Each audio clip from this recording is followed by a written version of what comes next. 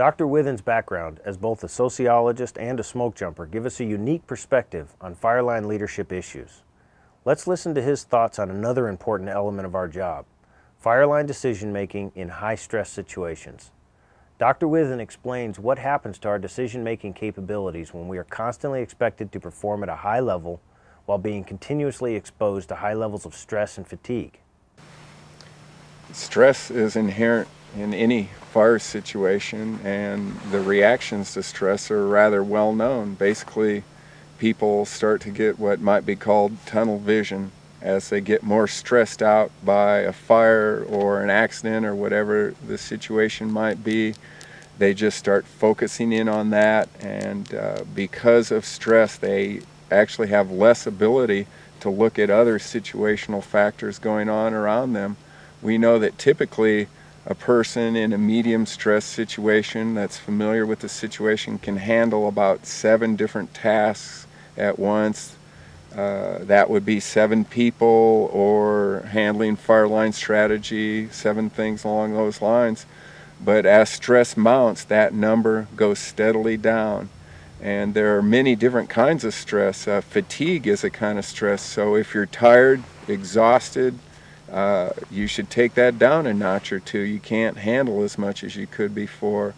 And we know that under totally stressful situations, people just get completely focused on whatever it might be at hand. So you can have the situation of the firefighters and they're really getting uh, very worried about what the fire is doing and they don't feel that comfortable at all with the fire and what might they do they might just start tunnel visioning down to what are they going to work on? Well, my pack needs to be readjusted here or you know I need to fill out my little notes book and so they can handle that. That's the way a lot of people will deal with stress as they will encounter or try to deal with what they're familiar with and they will deal with that and the thing that's causing the stress they might not be addressing that at all. And there are times when people can actually recognize that uh, their leader is uh, experiencing stress and getting uh, more focused on a few narrow tasks and not seeing the big picture. Well, there are many things that can be done. Uh, certainly, we're all familiar with just how to lighten up a stressful situation. You know, uh, appropriate humor, these kind of things. Taking a break, relaxing, if that's at all possible, is uh, an excellent way to do that. A crew leader can go a long ways in reducing the stress of their crew. Uh, first off, uh, the stress has to be recognized. You know, are people uh, noticeably uh, unhappy? Are they fidgety? Are they complaining? Uh, are they saying that they're very uncomfortable with this situation? We know through uh, the risk management process that you reassess what's going on and you brief people over and over again as to what's going on. And so that can be a method that's used to reassure your crew that things are going uh, maybe not as you planned, but uh, they're going in an acceptable direction. And uh, there's, uh, we can be reassured that our safety zone is still adequate or that our tactics are working.